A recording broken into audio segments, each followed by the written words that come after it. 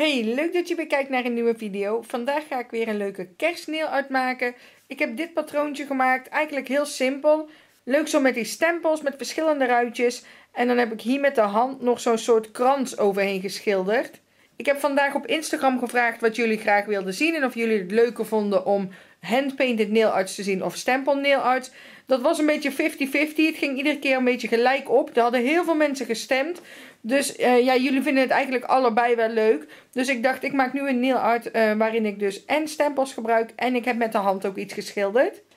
In deze video gebruik ik allemaal producten die verkrijgbaar zijn via monai.be. Ik heb onder andere de gel polishes van Luxio, de buttercreams van Light Elegance waar ik dus heel mooi mee kan schilderen. En ik gebruik een aantal stempelplaten van uh, Moira. En ik ga je in deze video twee verschillende voorbeeldjes laten zien. Als je het leuk vindt om deze video te zien, doe dan nu alvast je duimpje omhoog. En dan gaan we snel beginnen. Als basis voor deze nail art heb ik een witte gel polish aangebracht. Ik heb gewoon twee laagjes gedaan. Eén laagje zou misschien ook wel goed zijn als die mooi dekkend is. En daar overheen ga ik nu die nail art maken. Ik heb hier verschillende kleurtjes gebruikt. Ik heb allemaal gel polishes van Luxio dus gebruikt. Dit is Pixie, dat is een beetje die uh, oranje kleur. Beetje peachy oranje, die zie je hier. Um, dit is Delightful, dat is die wat fellere roze kleur. Die zit hieronder. Die ga ik nu ook voor het voorbeeldje gebruiken. Dit is Glims, dat is een beetje zo'n beige kleur. Nude-achtig, die zit hieronder. En tot slot heb ik ook nog Bossy. En dat is een beetje meer een, een roze, een oud roze, nude-achtige tint. Ook heel erg mooi. En die ga ik ook voor deze nail gebruiken. Dus ik ga deze twee voorbeeldjes doen. Ik breng die kleur ongeveer op 2 derde, 3 kwart denk ik van de nagel. Ligt er een beetje aan hoe lang dat de nagels zijn. Heb je nou wat kortere nagels, dan kun je ook gewoon bijvoorbeeld alleen maar de, de fringe doen, het randje. Of ongeveer halverwege. Dus kijk even wat een beetje mooi daarbij past. Wat een beetje staat op de lengte van de nagels. Nou, ik pak nu dus ongeveer, denk ik, 2 derde. Die maak ik nu een beetje dat oud roze, die bossy. En je kan dit natuurlijk ook doen met iedere kleur die je zelf leuk vindt. Hè? Dit zijn niet echt speciaal heel erg kerstkleuren. Maar door, uh, door die kerstkrans die ik zo meteen ga maken, ziet het er wel meteen heel kerstachtig uit. Dit ga ik uitharden in de lamp. En op de andere nagel breng ik Delightful aan. Dat is een wat fellere roze kleur. Tenminste ook wel een, een lichtroze, maar wel een stuk feller. Die andere zijn wat meer een nude-achtig, een beetje dat zachtere. Maar deze is ook wel heel erg leuk. En we gaan er zo meteen nog overheen met een witte stempel. Dus dan zwak je het toch weer ietsje af. En ook dit harden we uit in de lamp. Voor deze nail art heb ik dus verschillende ruitjespatronen gemaakt. En dat heb ik gedaan met verschillende stempelplaten. Ik heb een heleboel stempelplaten waar ruitjes op staan. Onder andere deze twee, de Fabric Texture 2 van Moira. Dat is plaat nummer 99. Dat is een van de laatste nieuwe. En daar staan allemaal leuke ja, printjes op.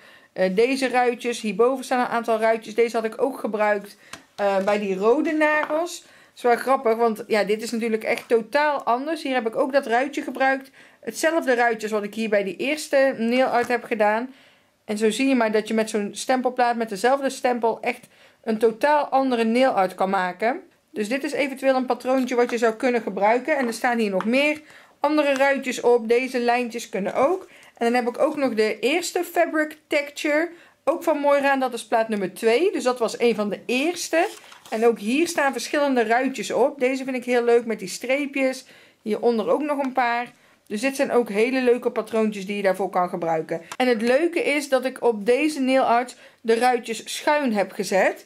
Dus ik zal nog even dat andere voorbeeld erbij pakken. Maar ik heb dat bijvoorbeeld ook bij uh, deze gedaan. Hier heb ik eigenlijk ook van die ruitjes gedaan. Maar hier zitten ze gewoon recht op de nagels. Hier eigenlijk ook. Maar hier heb ik ze dan uh, een kwartslag gedraaid. Zodat ze schuin op de nagels zitten. En dan krijg je toch net weer een ander effect. Maar dit zijn dus de twee stempelplaten die ik ga gebruiken. En ik ga stempelen met de witte stempellak van Moira. Dit zijn de twee nageltjes. En ik heb er even een matte topcoat overheen gedaan. Ik vind het zelf heel fijn om over een matte topcoat heen te stempelen. En ook eventueel dat schilderen vind ik heel fijn op een matte topcoat. Maar uh, je kan eventueel ook een gewone topcoat doen. En als je het fijner vindt om op de plaklaag te stempelen, dan kun je het ook gewoon over de kleur doen. Dus kijk gewoon even wat je zelf prettig vindt. Nu ga ik op allebei deze nagels dus een ruitjespatroon stempelen. Als eerste pak ik deze. Dit is die eerste fabric stempelplaat. En dan ga ik dit ruitje pakken, denk ik, met die streepjes. Dus ik breng de witte stempellak aan.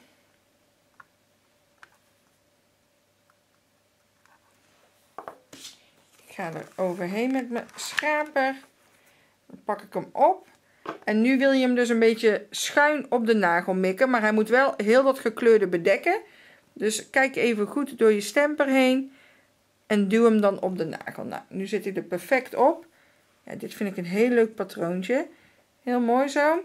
Dan ga ik de andere ook nog even doen. Dat is dus die uh, plaat nummer 99. En dan ga ik dit ruitje doen, denk ik. Die vind ik ook gewoon heel mooi. En dan breng ik ook weer de witte stempellak aan. Ik ga er weer overheen met mijn schaper. Ik pak hem op. En ook hier duw ik hem weer schuin op de nagel. Dus je moet even goed mikken. Het ziet er voor je gevoel misschien net een beetje gek uit. Maar geeft wel echt een heel leuk effect. Zo, ook deze zit erop. En nu moeten we natuurlijk even het overtollige weghalen wat hier aan de bovenkant zit. En dat doe ik gewoon even met zo'n wijpje met wat aceton. En dan veeg ik hier gewoon aan de bovenkant die stempel weg. Je kunt het nu niet goed zien omdat het uh, wit op wit is. Maar nu is die bovenkant weer gewoon mooi schoon. En dan hier op die scheiding gaan we zo meteen die krans aanbrengen. Nou, bij deze nagel precies hetzelfde. Ook hier halen we even die stempel weg. In principe zou je nu al kunnen gaan schilderen. Maar ik vind het toch fijner om even een extra topcoat hier tussen te doen. En daar overheen dan uh, die kerstkrans gaan schilderen. Mocht er dan iets fout gaan, kun je het gewoon weer eraf halen. Zonder dat je heel die stempel beschadigt. Dit zijn de buttercreams van Light Elegance. En dit zijn eigenlijk gewoon een soort paint gels waar je heel mooi mee kan schilderen. Heel gepigmenteerd zijn deze kleuren. Ik vind ze zelf super fijn. Die witte gebruik ik echt altijd als ik stipjes moet zetten of een klein wit accentje. Uh, dit is Just White. En dat is dus de witte kleur. Um, dit zijn alle kleuren die ik voor die kerstkrans heb gebruikt. En ik vind zelf hoe meer kleurtjes je gebruikt, hoe meer details, hoe echter het eruit ziet. Dat zul je zo meteen wel kunnen zien, denk ik. Dit is Jane of the Jungle. Dat is een groene kleur, een mooie donkere groene kleur. Dan heb ik hier een wat fellere groene, een beetje een uh, frisse kleur. Cactus Bloom. En dit is eigenlijk wel best fel, maar als je dat dan weer leuk combineert bij dat donkere, dat ziet er wel heel mooi uit. Dan heb ik uh, On the Prowl. En dat is een hele mooie donkerrode kleur. Dat is echt perfect voor die besjes. Dus die gaan we ook gebruiken. En dan heb ik nog Gold Metallic. En dat is echt een hele mooie gouden kleur. Is er nog een extra laagje? Zo, deze. Echt heel mooi is die. Heel gepigmenteerd. En daar ga ik ook nog wat accentjes van aanbrengen. Dus ik ga ze even allemaal hier wegzetten. En dit gaan we dus gebruiken om te schilderen. Ik heb hier twee hele kleine nail penseeltjes. Heel fijn.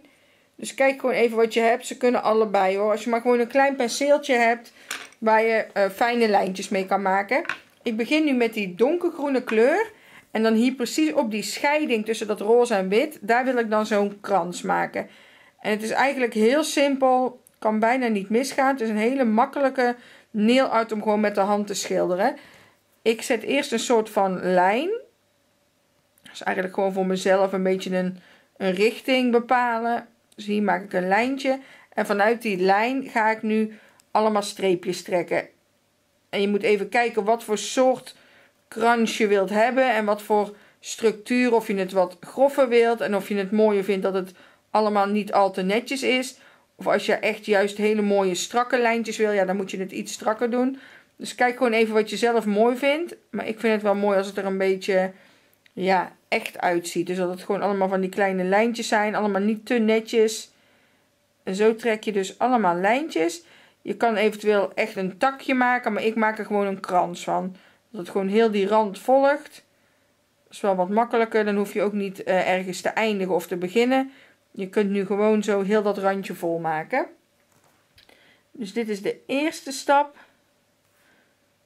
Dit harden we dan even uit in de lamp. En dan gaan we daar overheen weer met een andere kleur. Je kan eventueel een flash cure doen, dat die gewoon eventjes vast zit. Zo, dit is eigenlijk de basis. Super simpel.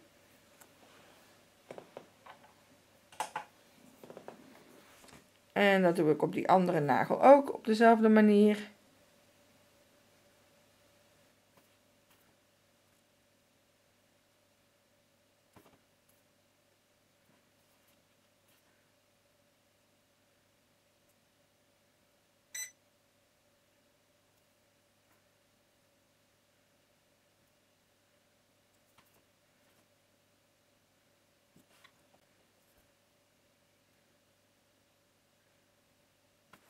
Dan ga ik hier nog wat accentjes op aanbrengen met die wat fellere groene kleur. En dan krijg je gewoon wat meer diepte in de nail art. Als je een beetje verschillende kleuren gebruikt. Dus ook hier trek ik een paar kleine lijntjes mee. En ik doe dit allemaal niet te precies. Dus kijk even of je dit zelf fijn vindt om zo te doen. Als je het te rommelig vindt, ja, dan moet je het zelf gewoon even wat netter doen. Je kan ook echt wel strakke lijntjes doen, maar ik vind dit zelf wel echt heel leuk. Zo. Nou, ook deze doe ik even snel flash curen.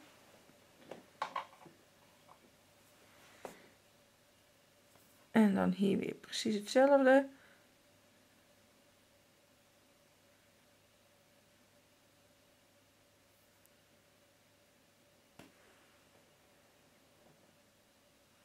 Dan ga ik nog wat van het goud aanbrengen.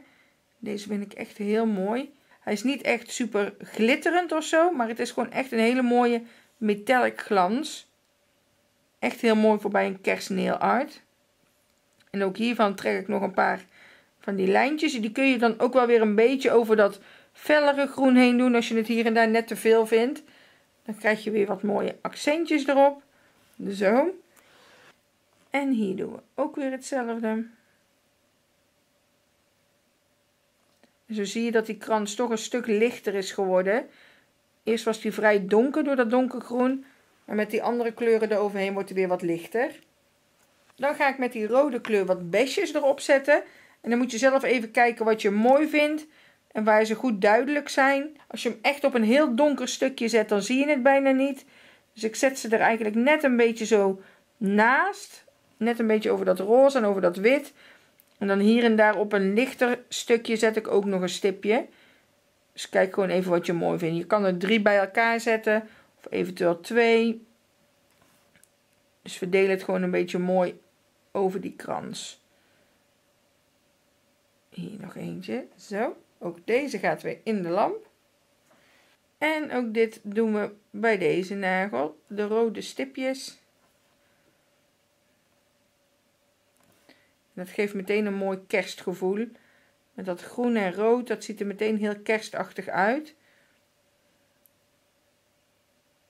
Zo, en ook deze gaat in de lamp. En tot slot ga ik nog wat wit aanbrengen. En ik ga het even op het voorbeeldnageltje laten zien. Maar als je een klein beetje van dat wit op dat rode besje doet, dat ziet er dan uit alsof er een beetje sneeuw op ligt. En dat maakt het ook meteen nog een stuk realistischer. Dus ik weet niet of je het goed kan zien. Ziet er echt wel schattig uit. En dan kun je eventueel nog een klein beetje wit op die takjes doen. En dan ziet het eruit alsof het dus sneeuwt. Want hier heb je het voorbeeldje zonder dat wit. En ik vind het met dat wit net iets leuker. Dus dat gaan we ook nog even doen. Ook weer met een heel fijn perceeltje. En dan zet ik gewoon een klein beetje zo een wit vlekje, een wit streepje op die besjes. Heel subtiel, maar het geeft echt wel een heel leuk effect. Zo bij allemaal een klein beetje.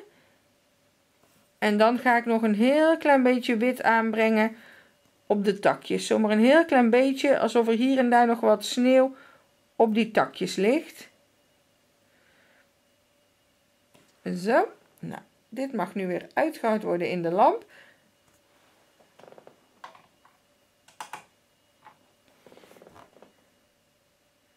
En natuurlijk doe ik bij deze hetzelfde klein beetje wit op de besjes. Als je dat een beetje aan de bovenkant doet, dan ziet het er echt uit alsof er sneeuw op het besje ligt. Als op zo'n oude kerstkaart. Zo, hier en daar wat wit. Ook dit hart ik uit in de lamp. Dan gaat de topcoat eroverheen En dan laat ik je zo het eindresultaat zien. En hier zie je alle nagels weer mooi op een rijtje. Deze twee nagels, die laatste twee, dat zijn degene die ik dus net gemaakt heb. Ik heb er een matte topcoat overheen gedaan. Dat hoef je niet per se te doen. Je zou ook prima gewoon een glanzende kunnen doen. Ik vind dat matte altijd wel erg mooi. En ik heb gemerkt dat het ook mooier en makkelijker is om op de foto te zetten. Dus vandaar dat ik de laatste tijd wat vaker een matte topcoat gebruik. Maar uh, je kan het ook zeker met een glanzende topcoat doen. Ik vind het echt een super schattige nail art. Ik vind de kleurtjes leuk, de printjes. Ik vind ook die krans echt super cute. Ik ben heel benieuwd wat jij ervan vindt. Als je de video leuk vond, doe dan zeker je duimpje omhoog. Alle producten zijn dus verkrijgbaar via monai.be. Een link van die webshop staat onder de video.